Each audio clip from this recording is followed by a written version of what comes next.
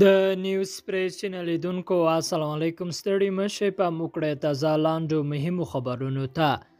د پښتون ژغورنې غورځنګ د پاکستان لخوا د سید رضوی پر خوشی کېدو انتقاد وکړ د پښتون ژغورنې غورځنګ یا پي ټي ایم یوې مخکښې غړې د پاکستان لخوا د یوې افراطي ډلې د مشر پر خوشې کېدو انتقاد وکړ. په پاکستان کې د تحریک لبیک په نوم مذهبي ډلې پرون د خپل زنداني شوي مشر سید رضوي خوشې کېدل تایید کړل.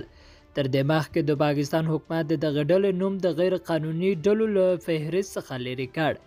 د پاکستان حکومت په دغه هیواد کې د تحریک لبیک پر فعالیت بندیز لګولی و او غیر قانوني اعلان کړی و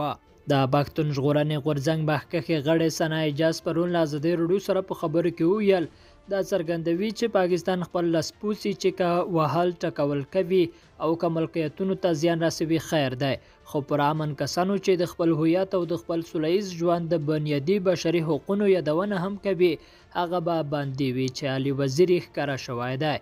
د پښتون ژغورنې غورځنګ بل وتلی مشر او د ملي اسمبلۍ غړی علي وزیر له یولسو میاشتو راهیسې په زندان کې دی.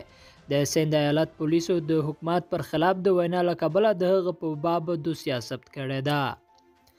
بلور ته سور صلیب وایي افغانستان کې تر اتلس میلیونو ډیر کسان بشري مرستو ته اړتیا لري. په افغانستان کې د بشري بحران او قحطۍ د پراخېدو په اړه یو وار بیا څو نړیوالو سازمانونو اندېښنه ښودلې د سره صلیب نړیواله کمیټه وایي چې په افغانستان کې په میلیونونه خلک بشري مرستو ته اړتیا لري دغه کمیټې ویلي چې په افغانستان کې تر اتلسو میلیونو ډیر کسان دا مهال بشري مرستو ته اړتیا لري د دې کمیټې په وینا په افغانستان کې د څو لسیزو جګړو د افغانانو ژوند د ډیر سخت اغیزمن کړی دی د دې ترڅنګ د ملګرو ملتونو د خوړو او کرنې ادارې ویلي د افغانستان د روان بحران د حال یوه لاره دا ده چې په کلیوالو سیمو کې د معاشیت بنسټونه وژغورل شي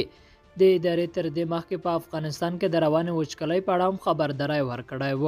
چې د افغانستان د کرنې ډیره برخه یې اغېزمنه کړې ده لیدونکو له ملتیا مننه ښې چارې